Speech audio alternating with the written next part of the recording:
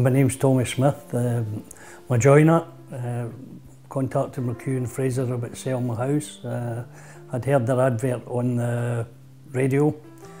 Uh, a girl called Diane came, uh, very impressed with the way that she put things over. And, uh, uh, my property went on the market. It went live on the Thursday night. I had three people viewed the property uh, before the board was even up. Uh, and within three weeks, uh, my property was sold. Uh, I'm very impressed with everything that uh, the way that they phoned me up to tell me about the viewings and uh, they kept in contact with me and I was in contact with the emails and uh, when Diane had came, I, I, know at the time that, that uh, they were a bit more expensive than, than, than everybody else, but uh, she came across as professional in fact, everything from day one, from the, the guy coming to take the,